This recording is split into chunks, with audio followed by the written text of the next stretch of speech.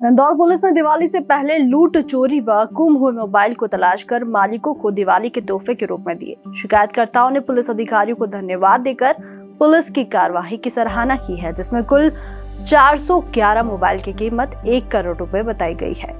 दरअसल इंदौर में लूट और गुम हुए मोबाइल को लेकर पुलिस लगातार शिकायतकर्ताओं के अनुसार सिटीजन ऐप में मोबाइल लोकेशन के आधार पर अपराधियों पर कार्यवाही करती है। इसी कड़ी में 2023 में पुलिस ने पंद्रह मोबाइल फ़ोन वापस करवाए हैं, जिनमें लूट चोरी हुए मोबाइल शामिल है।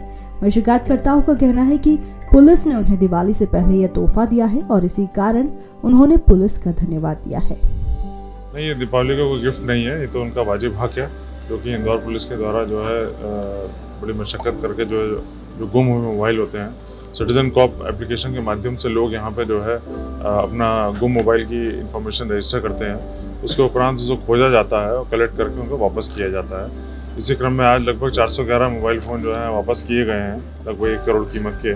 इस साल हम लगभग 1500 से ऊपर मोबाइल फ़ोन वापस कर चुके हैं। मेरा इंदौर के नागरिकों से आग्रह है कि जब भी उनका मोबाइल कहीं होता है तो उसको तुरंत वो जो है सिटीजन कॉप एप्लीकेशन पे उसकी डिटेल डाल दिया करें, जिससे कि हमको उसको ढूँढने में सुविधाजनक रहेगा और लौटाने में भी उसको जो है आसानी रहेगी सर, कई जो, जहाँ पर मोबाइल लेने आए थे, उनका ऐसा भी कहना था कि कुछ लोग हमारे से छीन कर ले गए थे, लेकिन निश्चित ही जो मोबाइल बरामद होते हैं उनके हम कारणों का भी पता करते हैं। और उसमें यदि कोई आपराधिक घटनाक्रम से पाया जाता है तो उस पर वैधानिक कार्रवाई की जाती है। फ़िलहाल पुलिस ने तमाम शिकायतकर्ताओं को मोबाइल वापस देकर उनके चेहरे पर एक मुस्कान देने का प्रयास किया है।